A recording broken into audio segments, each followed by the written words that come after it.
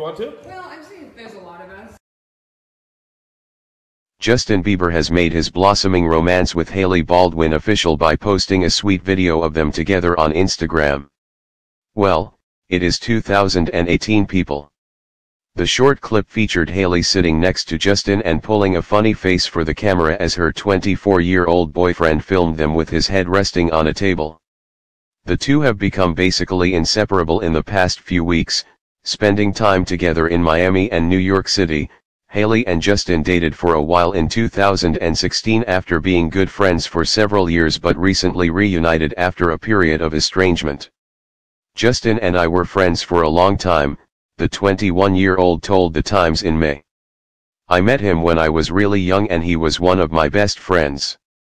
Everybody knows that at a certain point in time that turned into something else, but that just happens when you're 18, 19.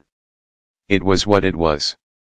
Hailey then said that after the breakup the two went through a long period of time when we weren't friends. We didn't speak for quite some time and there was a lot of weirdness that went on, she continued. We've moved past that. The appearance of Hailey on Justin's social accounts isn't a first though, as six days ago he shared a snap of himself crouched down low as he met a young fan and Hailey appeared from the waist down although fans knew it was her. A source told Us Weekly, they've had this weird thing for so many years.